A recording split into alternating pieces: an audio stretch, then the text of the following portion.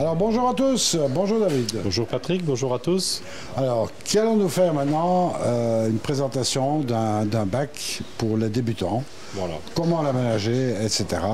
Ce qui est toujours intéressant parce qu'on avait déjà fait ça dans le passé, mais bon, ça a connu un gros succès. Ça fait quelques années déjà et c'était peut-être l'occasion de refaire une fois ça au goût du jour. Alors ici, on a un bac, bien sûr, avec le meuble compris, Oui, euh, qui est de belle facture. hein. C'est un bac panoramique Juel, oui, la vi- le Vision 180 LED. c'est ça.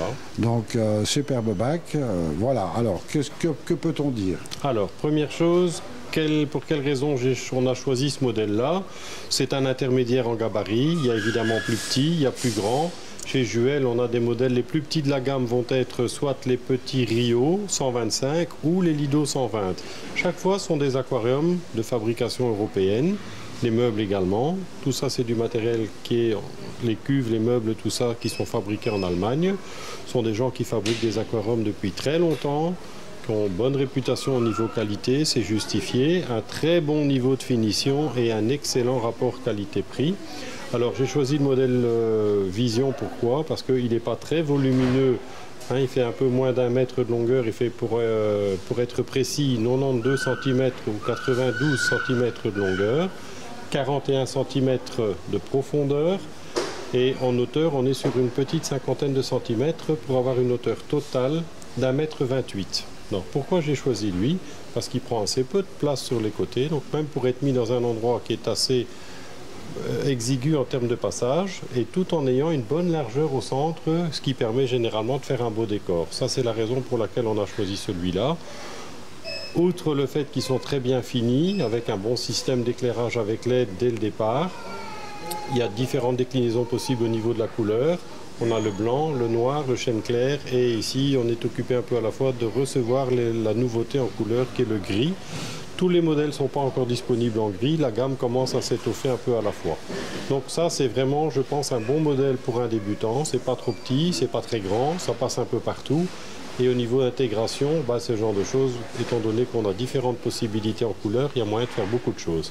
Alors, techniquement parlant, une fois que le meuble est monté, donc c'est des meubles qui sont livrés non montés mais de fabrication européenne, donc très bien fait, très facile à monter. Des portes, les découpes sont déjà prévues dans le meuble pour les gens qui souhaiteraient à terme mettre un filtre extérieur.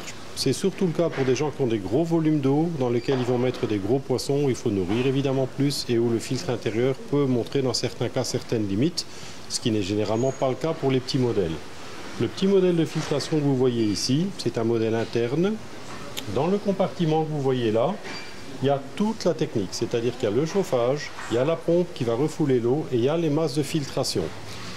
Un détail important, c'est que tout en étant un filtre interne comme ça, on a une aspiration de surface, donc il y a une crépine juste au niveau du niveau d'eau. Le but évidemment c'est d'aspirer le film qu'on a régulièrement, je vais y arriver, au ras du niveau d'eau. Et on a également une aspiration dans le bas qui se trouve ici. Bon, elle est vo- volontairement pas tout à fait dans le bas, puisque quand on vient mettre du substrat ou du gravier, le but c'est évidemment pas d'aspirer l'eau au travers du gravier, mais de se retrouver un peu au-dessus de celui-ci. Et le fait d'avoir une aspiration basse et une aspiration haute, c'est un plus. D'un point de vue technique, l'éclairage est étanche. Il n'est pas censé être mis dans l'eau, mais il est parfaitement étanche aux projections d'eau. Une petite chose, bon, il est tout à fait démontable, d'ailleurs je vais vous montrer, c'est intéressant de le voir et vous verrez tout à l'heure pourquoi quand on va commencer la décoration, quand on veut rentrer des éléments plus volumineux, c'est quand même très facile de pouvoir tout enlever. Vous voyez, en deux temps trois mouvements, tout est retiré. Pour le transport, la, la comme vous voyez, il y a des petites cales rouges qui sont mises ici. C'est simplement pour la protection pendant le transport. Ces petites cales, il faut simplement les enlever. C'est simplement clipsé. Alors souvent les gens n'y prêtent pas attention. Celui qui lit pas la notice, il ne sait pas. C'est pas un problème de les laisser. Esthétiquement, c'est quand même moins bien. Donc on va les enlever.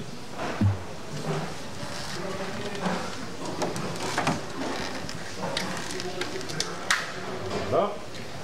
Une fois que ça c'est enlevé, la partie protection, la galerie, vous voyez, c'est très facile à enlever, très facile à reposer. C'est coulissant. Ce qu'ils ont prévu aussi, dès le départ, dans la partie couvercle, c'est une petite trappe qu'il y a moyen d'enlever, sur laquelle on peut à ce moment-là après directement venir poser le petit distributeur automatique de nourriture. C'est intéressant pour les vacances. Celui qui ne veut pas l'utiliser, la petite cale reste à sa place. C'est propre, c'est esthétique et bien fini. Qu'est-ce qu'on peut dire d'autre? Pour la partie filtration, sur le filtre, à l'intérieur, on a une boîte avec tous les accessoires que je vais vous montrer. Dans laquelle on va retrouver tout ce qui doit être tout ce qui doit venir être mis dans le filtre. Les masses de filtration bien sûr, mais pas que. La pompe de refoulement, le chauffage bien entendu. Voilà, voilà comment ça, à quoi ça ressemble. Alors, au niveau de la filtration, généralement, c'est bien fait. Il présente ça dans l'ordre où ça doit être mis dans le filtre. Il y a une logique. L'eau va arriver dans le filtre d'une telle manière qu'elle doit d'abord arriver de par le haut et elle traverse du haut vers le bas. On trouve d'abord de la ouate, de la mousse avec du charbon. Là, je vais vous montrer en option, il propose un charbon de bois actif plus efficace que ce qu'ils mettent au départ. Celui-là fonctionne. Si vous voulez quelque chose de plus efficace à terme, on a du charbon actif de chez eux, vraiment prévu pour ce gabarit-là, étudié pour ce filtre-là. Une mousse ici qui a tendance à travailler préventivement contre les nitrates.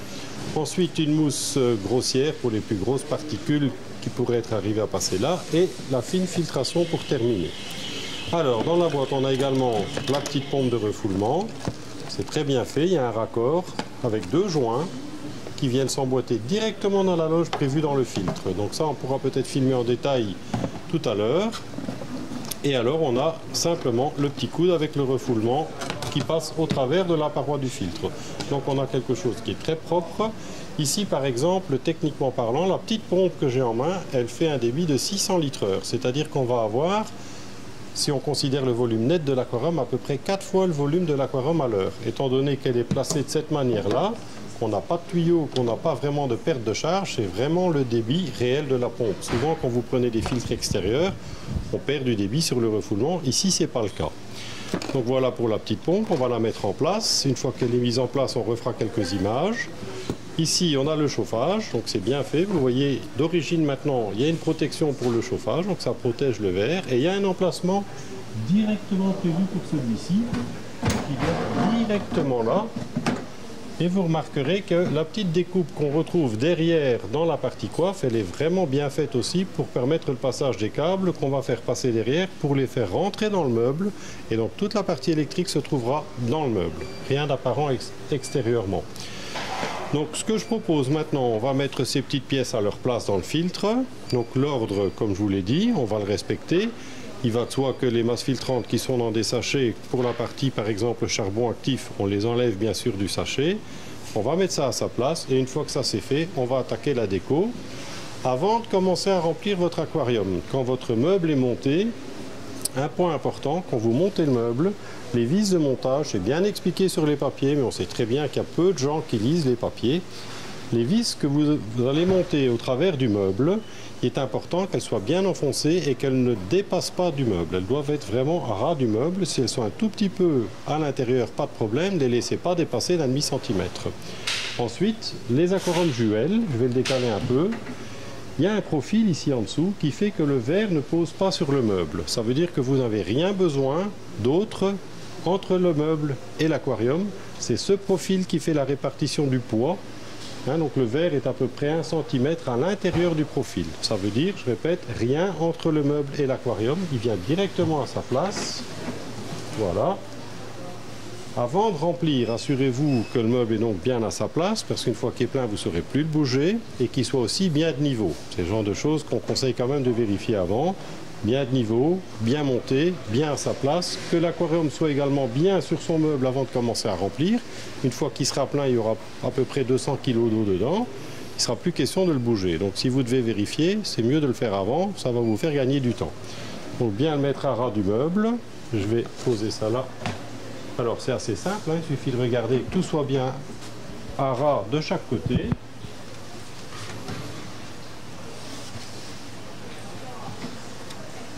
Voilà. ça c'est fait, on peut commencer la déco, tout ça, mais avant de remplir, on vérifie, parce que quelquefois, quand on fait la déco, on prend appui un peu sur l'aquarium, on vient le bouger par rapport au meuble, et si on ne fait pas attention, au moment de le remplir, il y a bougé, et puis il faut recommencer. Donc maintenant, je vais mettre en place tout ce qui est éléments de filtration ainsi que la pompe. Oui, ben, c'est pas du tout, c'est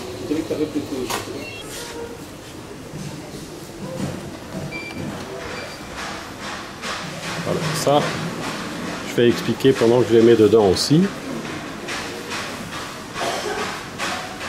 Alors, comme vous pouvez le voir, Joël a prévu aussi un petit système de portique pour dire d'aller mettre directement les mousses à leurs emplacements.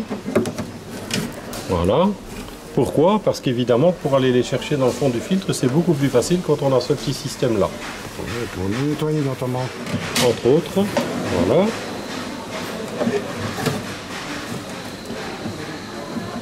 Voilà, bien mettre les mousses. Voilà, voyez? Et donc l'idée, c'est de bien retrouver le niveau des masses filtrantes en dessous du niveau de la crépine. On a la crépine de surface dont je parlais tout à l'heure, on a nos masses filtrantes. N'allez pas mettre des masses filtrantes juste qu'en haut. Pourquoi? Parce qu'à ce moment-là, ça va se colmater beaucoup plus vite puisque la seule surface que vous aurez, c'est celle qui sera face à la crépine. Tandis qu'ici, votre eau, elle entre là et elle traverse verticalement du haut vers le bas pour aller être repompée dans le fond du compartiment. Alors, voilà pour les masses filtrantes. Donc le chauffage, vous ne pouvez pas beaucoup vous tromper. Et alors, la pompe, je vais d'abord enlever l'attache câble.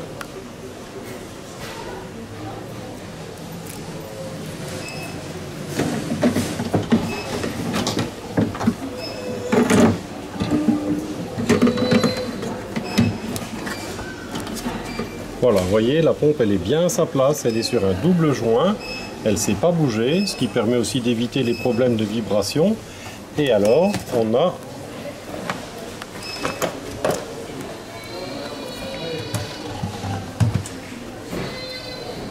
le petit coude pour le refoulement. Donc on a une partie, comme vous pouvez voir ici, avec une petite fissure de chaque côté. Ça c'est pour permettre de l'emboîter sur le rejet de la pompe.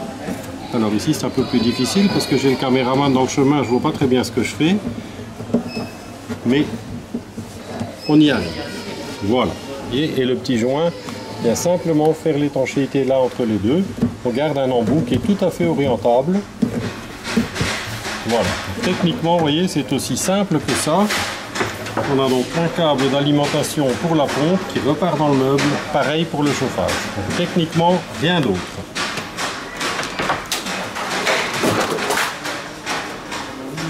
Alors, maintenant, je vais commencer la partie déco. Deux petites secondes de pause, le temps d'amener ce qu'il faut. Euh, Qu'est-ce que vous- nous allons utiliser comme substrat Alors, différentes choses. On a choisi d'utiliser un substrat de couleur foncée, noire en l'occurrence. Pourquoi? On a choisi un aquarium blanc et on essaie toujours d'avoir un contraste entre les deux. En base, on va d'abord mettre de la pouzzolane, histoire de bien aérer le sol.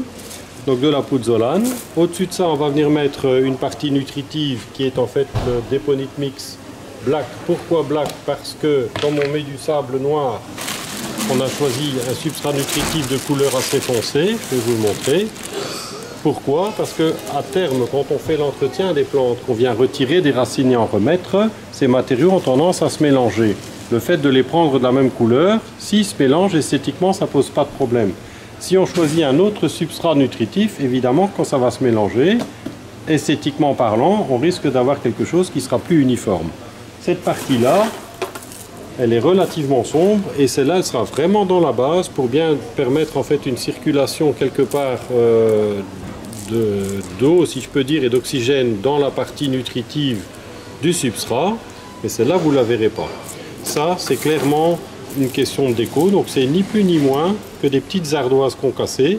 On sait faire des belles petites choses avec ça et on se sert également de cette ardoise. Je vais vous montrer pour la partie déco, c'est-à-dire qu'on prend des ardoises plates sur lesquelles on vient fixer des branches. Je vais vous montrer. On est un petit peu à l'étroit, mais bon, ça va le faire. Voilà, c'est-à-dire que c'est surtout le caméraman qui est volumineux. Voilà, alors parler des ardoises, vous voyez, on utilise des petites plaques en ardoise, qui est évidemment un produit naturel, quelques petits trous, des vis inox tout simplement pour permettre de maintenir les racines comme on veut. Parce que c'est pas toujours évident dans un bac dire voilà la racine je la veux comme ça et on a encore toujours la possibilité, vous voyez, de travailler un peu. Quand on prend des formes comme ça, on peut toujours donner du volume. C'est intéressant de faire ça pour le rentrer. Si vous dites voilà une fois dans le bac, je vais l'écarter, c'est le genre de choses que vous pouvez faire facilement. Les racines utilisées ici sont du talawa. Je précise au passage que les racines, en règle générale, il est toujours conseillé de les faire tremper avant de les utiliser. Sinon, elles dégagent du tanin, ce qui est normal, ça colore l'eau. On voit quelquefois apparaître aussi un petit peu un duvet blanc. Tout ça, c'est aussi normal pour des racines neuves. Et alors, il ne faut pas vous étonner si au début, une racine neuve, elle flotte au début. C'est aussi quelque chose à savoir. Souvent, les gens s'en inquiètent. C'est évidemment normal. L'avantage de la petite plaque ici, une fois que vous l'avez fait tremper un peu, si elle flotte encore toujours un tout petit peu, pas de problème, la plaque va la maintenir à sa place. Donc ça, c'est l'intérêt de la petite ardoise. on remarqua que les substrats ont été rincés aussi. Oui, j'ai préparé ça, je vous ai évité le rinçage du substrat, doute fort que ça intéresse les gens. Euh, donc j'ai préparé deux petits montages comme ça, des pierres. Alors ici, on a choisi une pierre sombre, qui est en fait, encore une fois, pierre naturelle euh, qui est la Mini Landscape Dark. il y a beaucoup de pierres que vous pouvez utiliser évidemment. Ça sont des pierres qui ne sont pas salissantes, qui sont, je dirais, pratiquement neutres au niveau de la qualité d'eau et qui permettent de faire de très belles choses au niveau montage. Donc maintenant, on va mettre le substrat nutritif, commencer la déco, les pierres, tout ça. Et une fois que ça c'est fait, on va pouvoir commencer la plantation.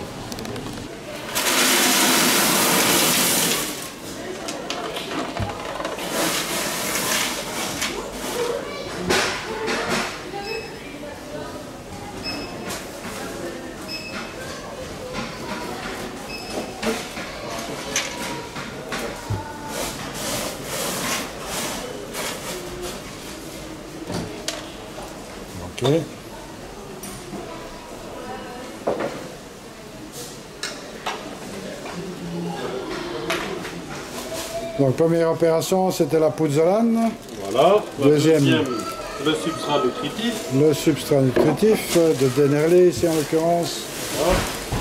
Il en existe plusieurs autres. Hein. Oui, oui, bien sûr.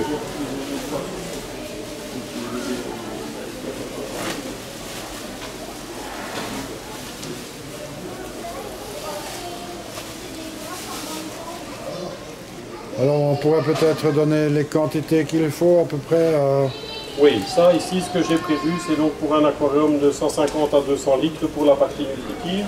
La partie toute zolane que j'ai mis là, j'ai mis l'équivalent d'à peu près 5 kg à nouveau pour le petit volume qu'on est occupé d'installer là, c'est suffisant.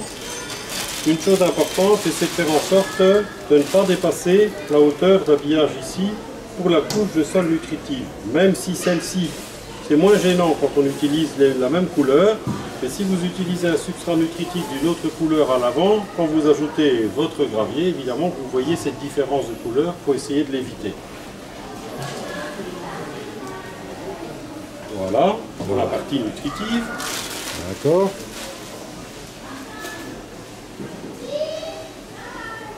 Alors, maintenant, je vais mettre la première partie cette fois-ci.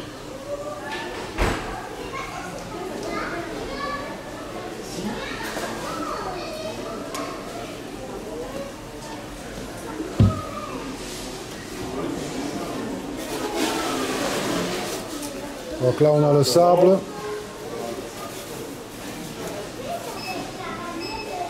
comme je disais, ici, on a choisi donc du sable noir. Sable noir.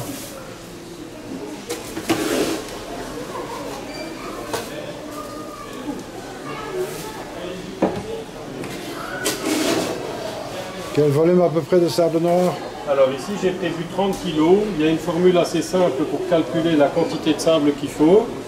La longueur pour la largeur, vous comptez à peu près 5 cm d'épaisseur. Là vous allez obtenir le volume en litres qu'il faut multiplier à peu près par 1,5 pour connaître le poids. Puisqu'on a une densité d'à peu près 1,5 kg, 1 kg, entre 1,5 kg et 1,7 kg au litre. Donc si vous prenez, si vous dites voilà j'ai mon volume, ben, vous faites x 1.5, vous allez être à peu près sur la quantité qu'il vous faut en kilos cette fois-ci.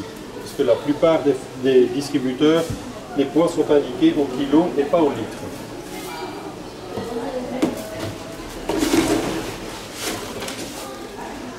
je ne sais pas si j'ai pas dit les poids, mais je voulais dire les conditionnements des emballages. Hein.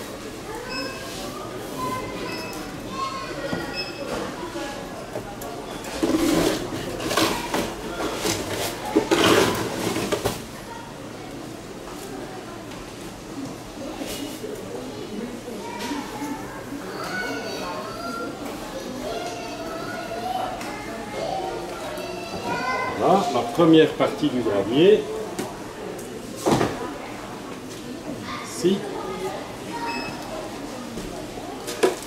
Alors, ce que je vais maintenant faire, c'est intégrer les fameux montages avec les racines.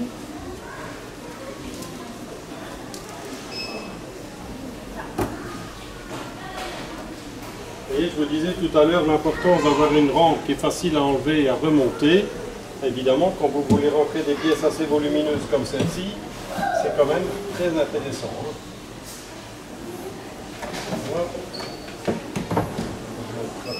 La deuxième.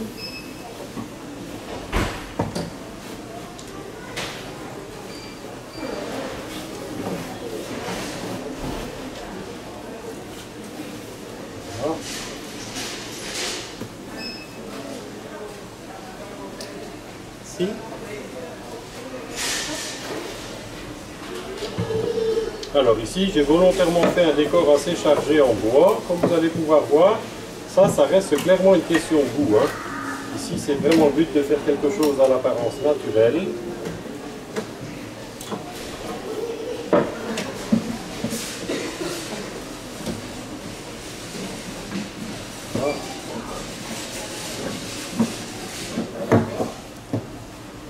Ça va aller Oui, ça va. Une main à la fois, ça va aller. ce que je vais dépasser, ce que je vais faire maintenant, je vais simplement couper la partie des racines qui m'embête. En l'occurrence, celle-ci est jolie, mais ça, voilà, vous voyez, on arrive à faire quelque chose, c'est que deux pierres, quelques petites racines, et on a un décor qui est très aéré tout de suite.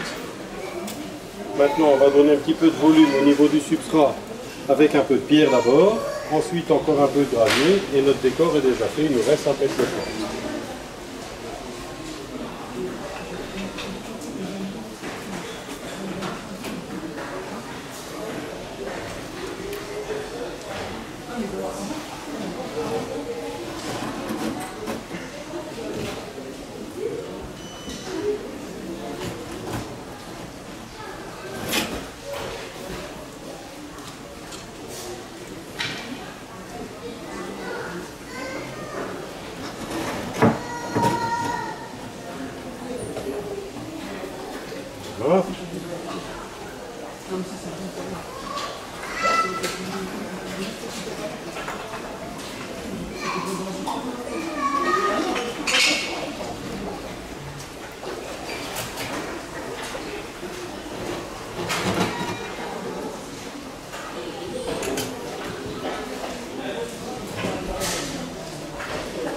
Bon, vu qu'on est dans le nord, euh, je dirais que c'est un aquarium d'aspect coron. Hein tu vois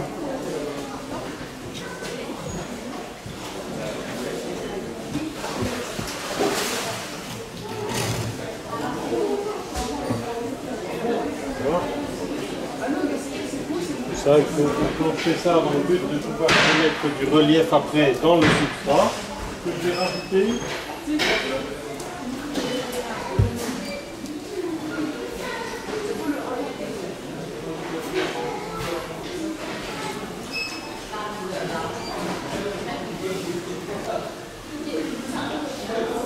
Et voilà. Plus de pierres, on peut évidemment mettre beaucoup plus. Hein. Si on regarde des décors d'aquascaper, quelquefois ils mettent beaucoup beaucoup plus. Maintenant, moi je vais rajouter donc du gravier pour aller donner du volume et du relief dans le substrat. Et ensuite on attaque les plantes.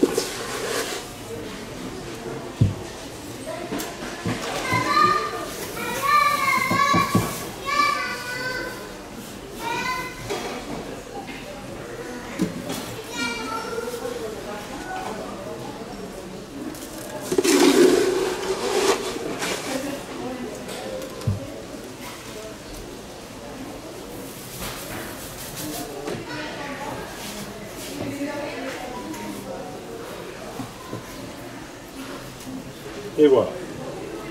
pour la première partie, encore un peu de ce côté-là.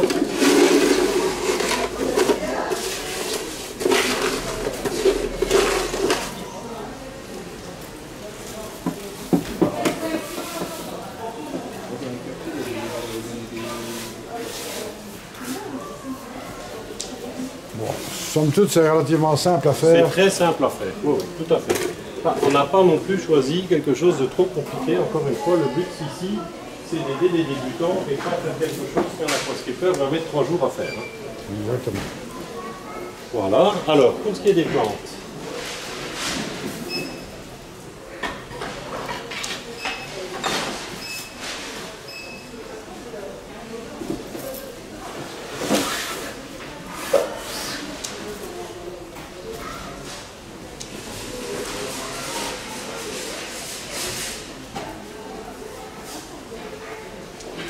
Qui concerne les plantes, j'ai prévu différentes petites choses. Alors ici, on va faire la plantation sans eau. Vous pouvez très bien le faire une fois que l'eau est dedans. En général, on on conseille de faire sans eau quand les aquariums sont très grands, difficiles d'accès, volumineux, où on ne sait pas bien arriver pour les plantations. Ici, ce n'est pas le cas, c'est évidemment très facile d'accès. Vous pouvez très bien faire le remplissage et la plantation après. Ici, je vais le faire autrement. Ça permet de mieux montrer comment on fait pour les plantes et vous verrez un petit peu mieux que si j'avais mis en eau tout de suite. Alors, souvent les plantes, il y a deux, enfin, généralement deux types de plantes.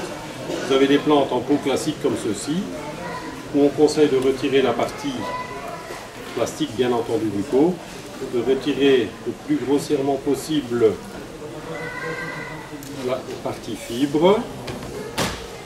Et donc là, on retrouve la plante pratiquement à racines nues. Ici, par exemple, on est sur de la fougère de Java, Microsorium. C'est une plante qui peut être mise dans le substrat, mais qui peut aussi, comme la nubia, je vais vous montrer comment, être collée sur des pierres ou sur des racines. Je vais vous montrer également comment faire. C'est tout simple. Ici, je vais faire les deux, c'est-à-dire que je vais, l'une des deux, je vais la mettre dans le substrat. Sachant que ça, c'est quelque chose qui va avoir tendance à grandir. Et l'autre, je vais vous montrer tout à l'heure comment on fait pour la coller sur les racines avec de la, tout simplement un tout petit tube de colle rapide que j'ai préparé également. Alors, ensuite, j'ai volontairement choisi ici une variété de cabomba rouge. Une plante à croissance rapide. Ce sont en fait des plantes qui arrivent en pot pratiquement en racines nues. Donc, pas compliqué. Celles-là doivent être mises directement dans le substrat par contre. Et elles vont grandir. Donc c'est important, l'endroit où vous allez les mettre, de faire en sorte que il y bien de la place qu'elles puissent monter. On va faire un beau bouquet là-bas dans le fond. Alors, j'en ai prévu deux petits pots, tout simplement.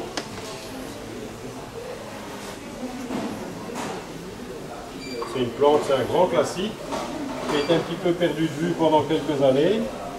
Et malgré tout, vous verrez tout à l'heure quand on fera quelques images des aquariums décorés qui tournent en magasin, ça reste une très belle plante. Alors, j'ai prévu un autre type de plante, Phogostemon erectus, qui est une très belle plante aussi, à croissance rapide également. Même principe, on enlève le plus gros de la fibre. Voilà. Tout simplement.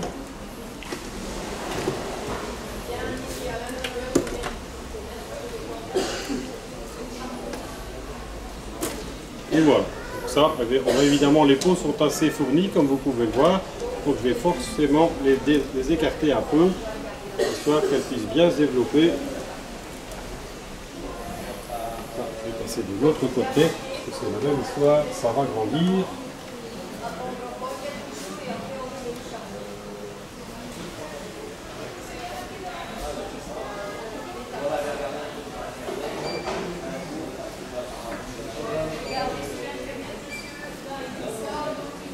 Voilà.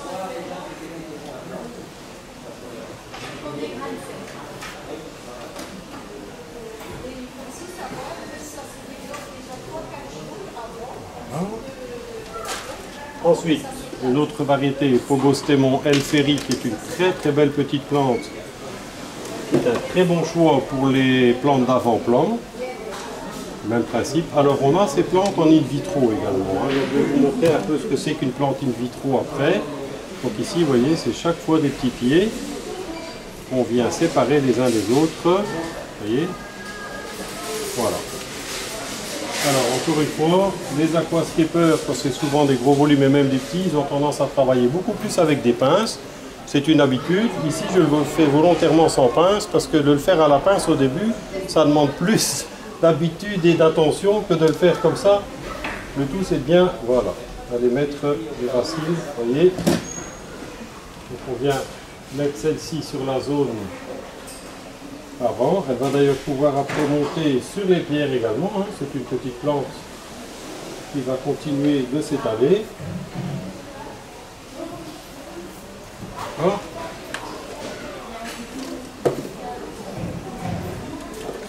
Voyez, c'est tout simple, hein. ça prend un tout petit peu de temps. Ici, ça prend un peu plus de temps aussi que la normale parce que le but, c'est quand même un peu de monter.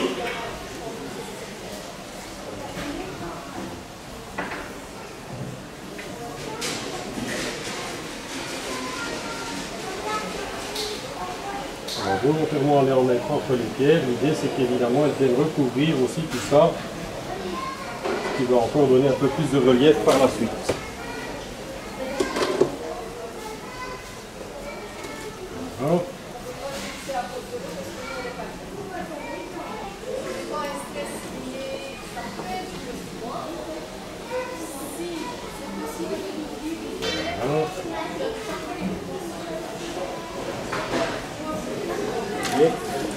J'ai prévu 4 petits au total, c'est plus qu'assez. Celui qui dit moi j'ai le temps et je ne veux pas que ce soit nécessairement garni euh, aussi fort, aussi vite, il pouvait très bien commencer avec des plus petites quantités et adapter. De ce côté-ci j'ai prévu celle-ci, de l'autre côté je vais vous montrer, on a prévu de l'héliocaris qui est en in vitro d'ailleurs. Volontairement pour, vous- pour pouvoir vous montrer la différence.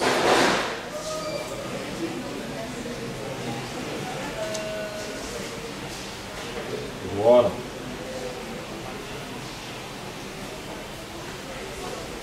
Alors, ensuite, l'in Donc là, quelle est la différence entre les pots classiques et l'in vitro? Les pots en in vitro paraissent plus chers, alors qu'en réalité c'est l'inverse, parce qu'il y a des beaucoup plus grandes quantités de plantes dans un petit pot in vitro comme ça que dans des petits pots classiques. Qu'est-ce qu'il y a comme autre avantage? Aucun risque d'avoir évidemment des passagers clandestins, je pense par exemple aux escargots, donc c'est intéressant de le savoir aussi.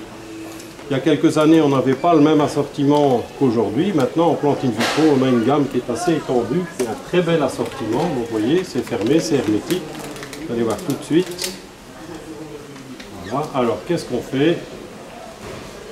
On les enlève. Généralement, on chasse un tout petit peu le gel. Il y a même des gens qui les rincent, c'est pas un problème de les rincer non plus. Et vous voyez un petit peu, vous allez voir, c'est assez impressionnant la quantité de plantes qu'on retrouve dans un petit pot in vitro comme ça. Vous voyez un petit peu Il y a vraiment, et donc l'idéal, c'est ce que les aquascapers font, c'est évidemment de les démarier et de venir les planter en les écartant pour couvrir une bonne zone avec. Voilà. Même principe. Là, par contre, je dois dire que c'est plus facile de le faire avec une pince. hein. Pour cette variété de plantes-là, en l'occurrence,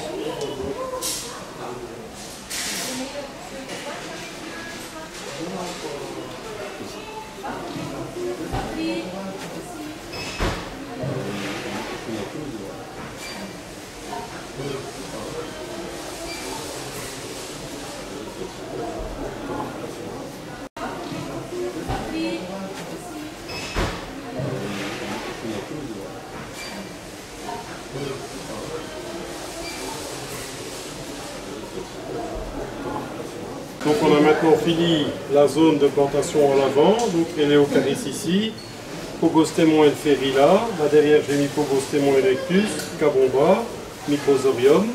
Maintenant je vais vous montrer comment faire pour coller des plantes sur des racines. Donc, par exemple, je vais montrer ça avec un Lubia et Microsorium. Alors bah, c'est assez simple, hein, une colle rapide, voilà. On va essayer de prendre trop sur les doigts. Voilà, quelques petits points de colle tout simplement.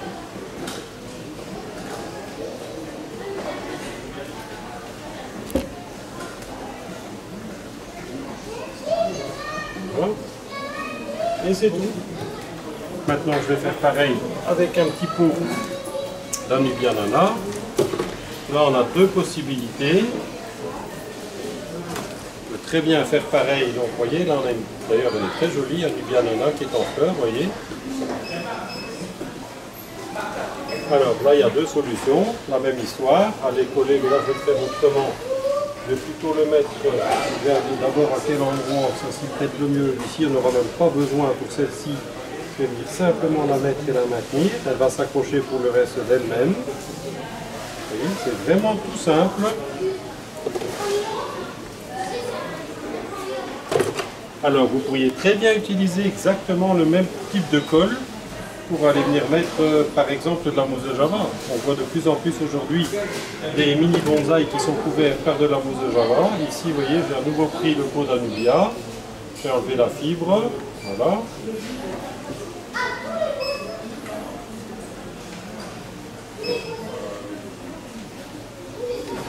Alors, si vous souhaitez les faire tenir à un endroit où elles ne tiennent pas directement sur les branches, c'est une autre solution que vous montrer qui est en fait celle-ci. C'est Ada qui propose ça. C'est un petit fil, euh, je dirais, plastifié. Directement. Voilà.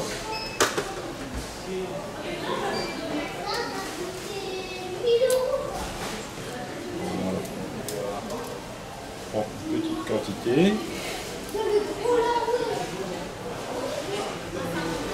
Voilà. Donc ça va jouer avec une paire de ciseaux, mais comme je ne les ai pas prévus, on va faire avec le prévu d'origine. Là. Une fois qu'on a coupé un petit morceau, c'est volontairement fait de couleur brune de telle sorte que ce soit le plus discret possible par rapport aux racines. Donc si vous dites je vais le maintenir à un endroit, ben, c'est pas compliqué. On vient prendre la plante comme ça.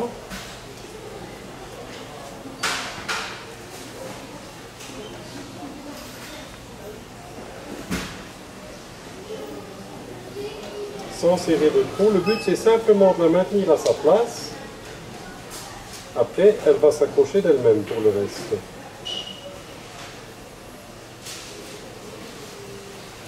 Voilà, vous voyez, il y a quelque chose qui est tout de suite comme on veut, à l'endroit où on veut. C'est tout simple, quelques minutes. Alors, ce que j'ai encore pris, on n'a pas encore mis, vous me direz ça manque un peu de couleur et c'est vrai. J'ai prévu deux petites plantes rouges assez faciles facile en maintenance, pas toujours facile à trouver, la Barclaya, qui est une très belle petite plante à bulbe. On va venir mettre. Voilà. Alors, elle va grandir, ça veut dire que on va mettre une devant qui, à terme, quand elle sera bien grandie, on peut toujours imaginer, je vais même faire autrement, je vais poser les deux dans la partie là, centrale, où elles pourront se développer sans qu'on doit les déplacer trop vite.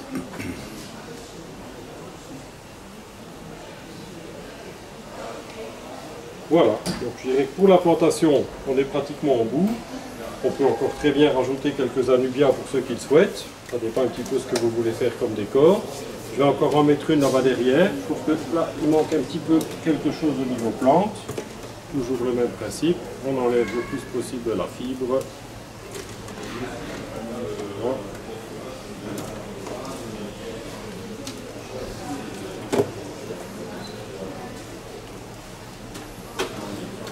Et c'est des pour lesquelles il y a déjà quand même un très beau tissu racinaire. hein.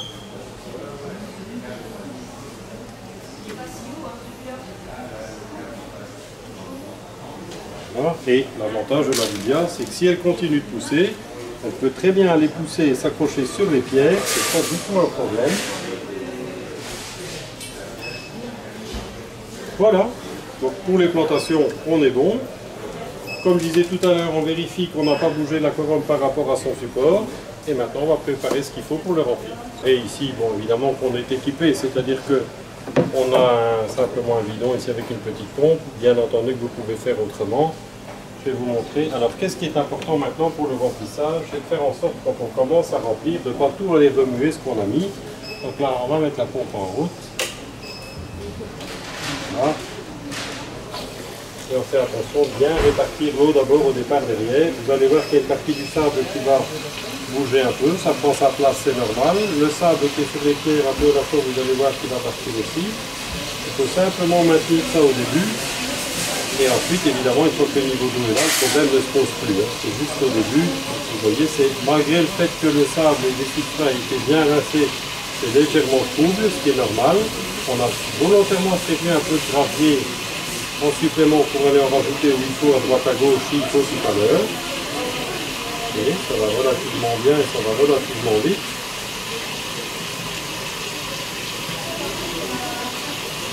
Bien sûr, l'eau est à disposition ici chez Poisson d'Or aussi. hein. Oui, là en l'occurrence, c'est de l'osmosée évidemment qu'on a pris.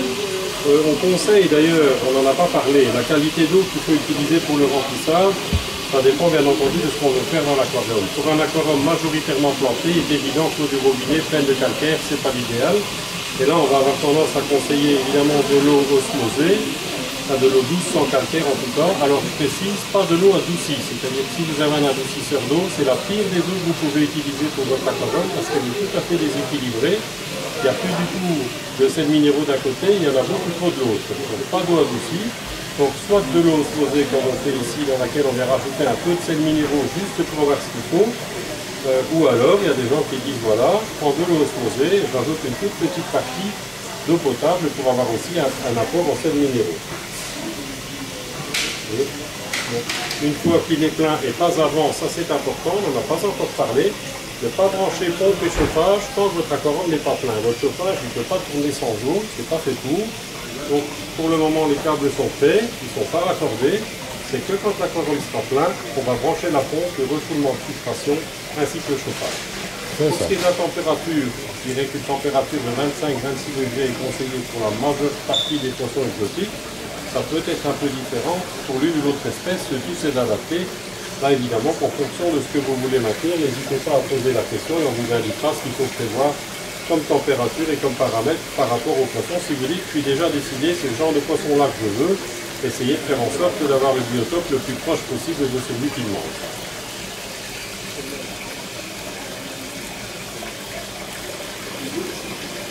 Vous voyez que c'est quelque chose de somme toute très simple, même en prenant le temps qu'il faut pour montrer et pour filmer, ben, ça va très très vite à monter. Une fois qu'on a les matériaux, c'est prêt, pas oublier de rincer votre substrat et votre gravier. On risque de me répéter, si vous ne le faites pas, ben, au lieu d'avoir de l'eau claire comme vous avez maintenant, vous avez de l'eau trouble pendant une semaine. Euh, de mettre tremper vos racines, sinon vous allez avoir de l'eau brune au départ, il vaut mieux l'éviter aussi, même si c'est une catastrophe, il vaut mieux l'éviter. Bien vérifier l'emplacement de votre aquarium sur son support avant de commencer à mettre en eau, puisqu'une fois qu'elle fond, vous saurez plus le faire. Et ensuite, une fois la mise en route et le démarrage, dès que vous avez des plantes, elles ont évidemment besoin de lumière. Éclairez 8 à 10 heures par jour pour commencer.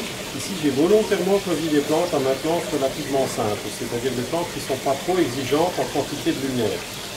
Les aquascapers qui veulent faire des bacs extrêmement plantés, d'abord, dans la plupart des cas, ils changent d'éclairage, ils mettent un éclairage beaucoup plus puissant que ça. Pour des plantes qui demandent énormément de lumière, c'est un éclairage qui va montrer ses limites dans le temps. Donc ça, c'est le premier point. Et le deuxième point, une fois que cette mise en route est faite, il faut être attentif. Généralement, dans les 15 premiers jours, voire dans les 3 premières semaines, on commence à voir apparaître des algues. Ce qui est normal au début, il ne faut pas vous inquiéter. Ce qu'il faut, c'est assez vite à ce moment-là, quand ça commence, réagir et mettre des ennemis naturels pour ces algues. Si ce sont des algues filamenteuses, mettez des caridina japonica. C'est une crevette qui est très efficace pour le nettoyage, qui est utile. Évitez dans la mesure du possible, autant que possible, les produits chimiques.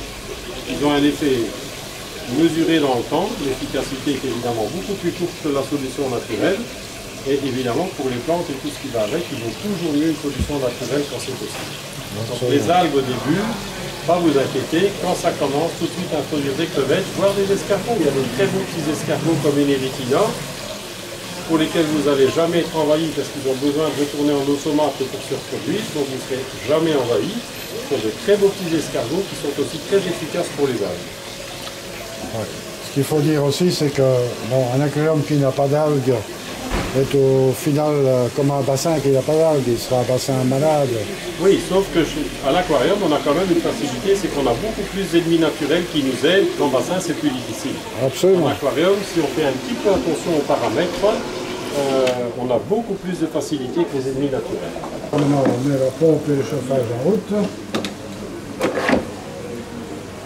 Voilà. Et voilà. Et donc si vous regardez, je vais décaler un petit peu le- là. Voilà, Donc, vous voyez bien l'eau qui arrive de l'aquarium. On voit bien, je vais essayer de mettre l'éclairage que vous voyez bien. Vous voyez l'eau qui arrive sur la crépine et vous voyez tout de suite l'efficacité de la crépine à la surface. hein. Et donc les petits pas, donc les petits tapis de filtration d'ouate, quand le gravier n'est pas bien rincé ou que c'est sale, évidemment que la première fois ça se- ça s'encrasse, il suffit de la rincer, de la remettre. Et d'ici une heure ou deux, on va pouvoir récupérer toutes les petites brindilles de plantes, tout ça qui se sont détachées pendant la plantation. Donc il y a toujours quelques petites feuilles qui tombent, c'est normal. On va les retrouver là, à l'entrée de la crépine, on les enlève tout simplement. Et c'est tout. Pour le reste, une fois que ça c'est fait, il nous reste à remettre les couvercles à leur place, tout simplement. Durée d'éclairage, donc 8 à 10 heures par jour pour commencer. C'est inutile de mettre davantage. Je vais maintenant remettre les lamelles.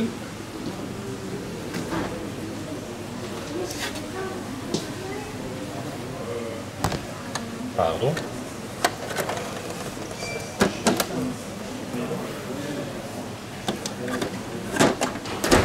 Et C'est vraiment un jeu d'enfant. Et donc, je rappelle là la petite cale pour celui qui souhaite à terme mettre un petit distributeur de nourriture. D'ailleurs, je vais vous montrer, on en a installé. Une ou deux petites options dont je vais vous parler qui peuvent être intéressantes. J'ai parlé tout à l'heure pendant la mise en route du charbon de bois actif au lieu d'être une mousse avec du charbon. On a ici une petite cartouche de taille adaptée avec du vrai charbon actif dedans. C'est évidemment efficace plus longtemps et c'est spécialement intéressant pour les gens qui veulent garder une eau cristalline qui aurait tendance à jaunir un petit peu avec le temps. Le charbon de bois permet de retirer ça. Une seule chose, c'est que si un jour vous faites un traitement chimique quel qu'il soit, le charbon de bois actif doit être retiré puisque lui va retirer le traitement. Il y a également des produits plus spécifiques pour des gens qui auraient par exemple des problèmes de phosphate. Il y a une masse filtrante spécifique qui vient les absorber. C'est un deuxième point. Ce qui est intéressant et qu'on conseille pratiquement à chaque fois, c'est de mettre de la céramique dans le filtre, c'est-à-dire de remplacer une des mousses bleues par de la céramique. Quel est l'intérêt? La céramique, c'est un produit qui est extrêmement poreux, qui offre beaucoup plus de surface pour les bactéries que ne fait de la mousse. Donc c'est le même principe que pour le charbon. Vous avez un petit, je vais parce que comme ça on ne voit pas bien, un petit panier dans lequel vous avez cette céramique. Alors je rappelle que la céramique c'est quelque chose qu'on ne doit pas changer, c'est simplement quelque chose qu'il faut rincer. C'est un bon support pour les bactéries.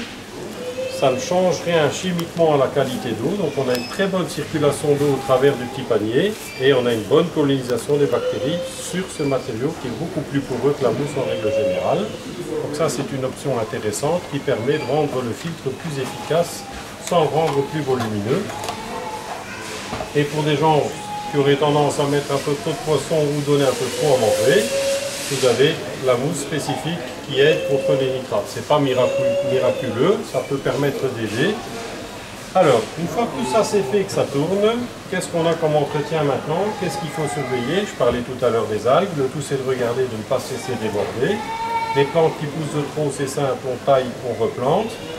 Et au niveau des algues, si elles font leur apparition, n'attendez pas d'être envahies, met- mettez directement des ennemis naturels adaptés, ça va vous simplifier la vie et vous allez en profiter tout le temps. Pour ce qui est de l'entretien, j'ai envie de dire maintenant, les deux premiers mois, on ne doit pas y toucher pratiquement, si ce n'est que la taille des plantes et surveiller un petit peu l'évolution, faire les quelques tests d'eau. Pour les gens qui veulent mettre des poissons un peu plus rapidement, qu'est-ce qu'on conseille? C'est de mettre un échantillon de bactéries, ça nous permet de gagner bien du temps sur la phase de démarrage. Sans bactéries, il faut 2 à 3 semaines avant d'avoir un équilibre à peu près pour mettre les premiers animaux. En mettant des bactéries, en théorie, dis bien en théorie, dans la pratique on ne le conseille pas, on pourrait presque mettre les premiers poissons après quelques jours seulement. Qu'est-ce qui est important quand on met les premiers poissons? Pas trop à manger, souvent ça c'est la première erreur des débutants, c'est de donner beaucoup trop à manger. En fait, il faut savoir qu'un poisson, il aime bien avoir des petites quantités de nourriture le plus régulièrement possible. Il faut surtout éviter des trop grandes quantités en une fois. Tout ce qui n'est pas mangé, il faut le retirer le plus vite possible. Ce qui n'est pas mangé en 2 ou 3 minutes, clairement, c'est trop. Donc ça doit être retiré. Ça, c'est un point auquel il faut faire attention. Et après 2 à 3 mois de fonctionnement, on conseille de changer une dizaine de pourcents du volume d'eau. En l'occurrence, sur un petit aquarium comme ça, c'est 20 litres une fois par mois. On peut y aller? Alors, quelques petites options dont j'ai parlé brièvement tout à l'heure et que je vais vous montrer. Donc, on a parlé tout à l'heure de la petite plaquette à enlever pour les distributeurs. Deux modèles de distributeurs disponibles chez Juel. Un petite contenance, pour ceux qui ont un petit volume et de petites quantités de poissons, vous voyez, il s'adapte parfaitement dessus. Et un profil simplement à clipser. On définit la quantité de nourriture. On peut donner une, deux, trois fois à manger par jour. Une précision toutefois, si vous installez ça avant de partir en vacances, laissez-le tourner au moins une semaine avant votre départ, histoire de voir qu'il ne donne pas de trop, parce que vous auriez bien plus de problèmes en ayant un distributeur de nourriture qui donne de trop qu'en donnant trop peu. Même genre de gabarit, enfin pas de gabarit mais d'appareil, toujours adaptable directement sur le clapet, mais avec une beaucoup plus grande contenance. Donc pour des gens qui ont des plus gros volumes, c'est la même trappe, exactement que celle-ci, mais on peut aller mettre ça jusque les Rio 450, donc les aquariums de 450 litres d'eau. contenance plus importante, programmation simple. Une autre petite option qu'ils ont sortie et qui est assez réussie esthétiquement, je trouve, c'est le petit thermomètre qui vient s'emboîter directement sur la lamelle du couvercle. C'est tout simple, c'est très propre et on voit en permanence la température qu'il y a dans l'aquarium. Donc le petit thermomètre externe Juel qui est et ça c'est important de le préciser, qui est relié en fait à une petite sonde qui vient prendre la température dans l'aquarium que vous pouvez d'ailleurs très bien mettre dans le filtre. Hein. Ici je l'ai présenté de ce côté-là, parce que là sur le côté c'est plus, c'est plus visible je dirais, mais vous voyez, une belle petite option, facile, propre, esthétique et qui prend deux secondes à être installée.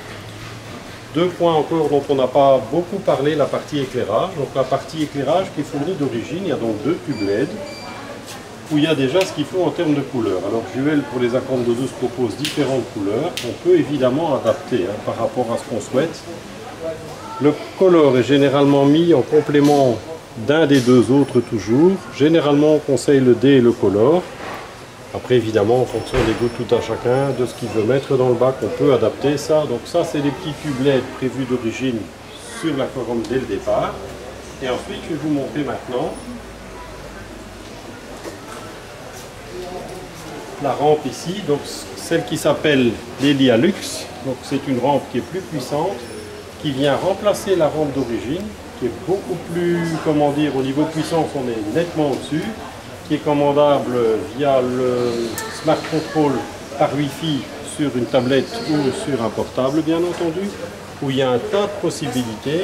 Outre le fait qu'elle soit nettement plus puissante, on sait changer les couleurs, on peut simuler des effets météoriques euh, style euh, nuages et choses comme ça. Il y a beaucoup de possibilités qu'on n'a évidemment pas sur la version de base. Je répète, euh, donc elle remplace sa rampe centrale et surtout elle sert de support aux deux ventelles, c'est-à-dire que vous gardez toujours vos deux couvercles amovibles qui viennent se mettre dans celle-ci à la place de la rampe d'origine, tout simplement. Voilà, je pense qu'on a à peu près fait le tour des petites options intéressantes. Il y aura certainement d'autres choses qu'on va voir un petit peu à la fois au fil du temps. Et pareil pour la population, ça ce sera pour la prochaine vidéo. Eh bien, David, merci en tous les cas pour toutes les informations sur ce juel euh, et comment le planter euh, pour le débutants.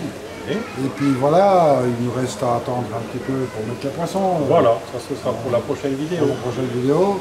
Et puis on essaiera de suivre ce bac un petit peu, qui, va s'éclaircir de toute façon. D'ici demain, il sera clair comme il doit. C'est pas d'inquiétude. Et puis, moi, il me reste à vous dire la formule consacrée. Surtout, surtout, ne soyez pas sages. Salut à tous. Au revoir.